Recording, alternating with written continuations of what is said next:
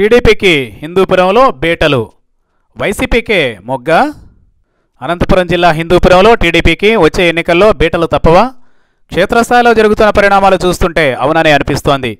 పంతొమ్మిది వందల ఎనభై మూడులో ఎన్టీఆర్ తెలుగుదేశం పార్టీని ఏర్పాటు చేసినప్పటి నుండి ఇప్పటి వరకు ఏపీలోని కొన్ని నియోజకవర్గాలు టీడీపీకి కంచుకోటల్లాగా నిలిచాయి. సుమారు నలభై నియోజకవర్గాల్లో టీడీపీకి దాదాపుగా ఓటమన్నదే లేదు. అటువంటి నియోజకవర్గాల్లో హిందూపురం కూడా ఒకటి.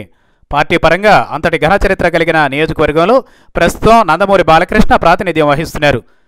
పోయిన ఎన్నికల్లో అన్నగారి కొడుకన్న కారణంతో జనాలు బాలకృష్ణను ఆదరించారు. అటువంటిది తన వ్యవహార శైలితో బాలకృష్ణ పార్టీని కంపు చేసుకున్నారు.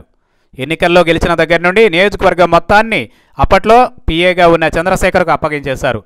దాంతో పీఏ తన ఇష్టారాజ్యంగా వ్యవహరించడంతో సమస్యలు మొదలయ్యాయి.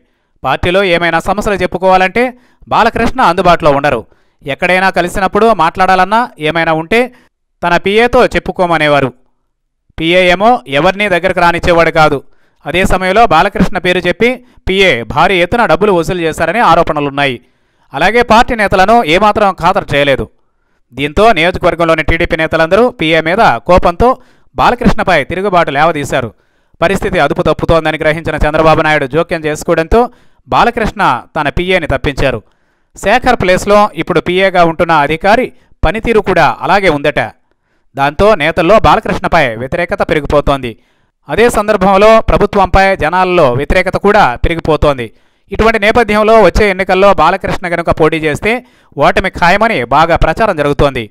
వైసీపీ నేత స్థానికుడైన నవీన్ నిశ్చల్ వైపు జనాల మొగ్గుందని సమాచారం. అదే సమయంలో టీడీపీ స్థానిక నేత అంబికా లక్ష్మీనారాయణ కూడా రేసులో ఉన్నారు. వచ్చే ఎన్నికల్లో బాలకృష్ణ పోటీ చేయకపోతే తనకు టికెట్ ఇవ్వాల్సిందేగా చంద్రబాబును అడుగుతున్నారు. ఇటు నవీన్ అటు అంబిక ఇద్దరు స్థానికులే కావడంతో ఇద్దరికీ నియోజకవర్గంలో పట్టుంది.